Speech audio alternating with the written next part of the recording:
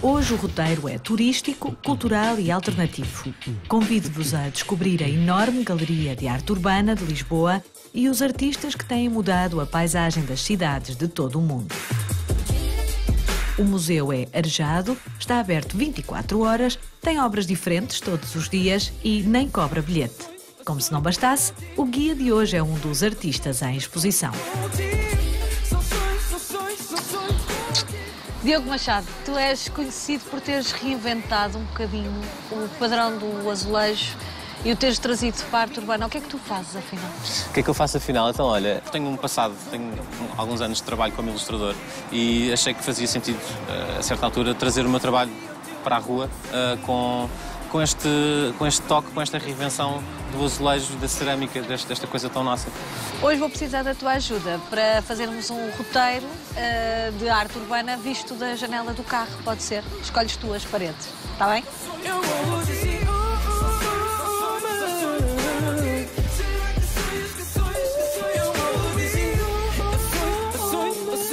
Como disseste, há cinco anos para cá começou a haver um, um interesse e começou a haver um desenvolvimento da arte urbana, da, da, da pintura de mural, renasceu outra vez em Portugal, digamos assim. Mas não vêm todos necessariamente do grafite, por exemplo, Não. como tu, tu não, não vais daí. Não, não, eu sou de- designer gráfico de formação, ilustrador de, de paixão. Fazias bonecos no Fazia papel e agora bonecos fazes papel. na parede. Sim, e como eu, há muitos outros agora artistas da arte urbana que são artistas plásticos também ao fim e ao cabo, mas têm uns backgrounds completamente diferentes. Para além de Ed Fuel, Vils, Bordal II, Mar, Mário Belém e Mais Menos são alguns dos nomes desta geração de jovens artistas plásticos que escolheram expor na rua. Ora se inspiram no tradicional, ora criam mundos imaginários, uns através de mensagens, outros de imagens, sempre para criticar, intervir, reinterpretar ou inspirar.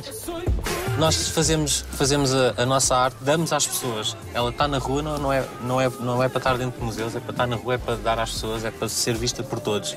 E isso, isso faz com que também tu encares o trabalho de outra forma, não é? Acabas, estás a dar, estás a meter na rua, deixa de ser teu, pode, pode durar uma hora, pode alguém lá pintar por cima, como pode durar anos. Agora estão a surgir galerias que acolhem dentro Claro. de paredes Sim, sim. o trabalho, que está na rua. o trabalho o da está- rua. Sim, puxa o que está na rua para dentro da galeria, porque já começa, em Portugal ainda é um pouco pequeno, mas já começa a haver um núcleo de colecionadores de, de arte urbana, que, fora de Portugal é uma coisa já bastante normal.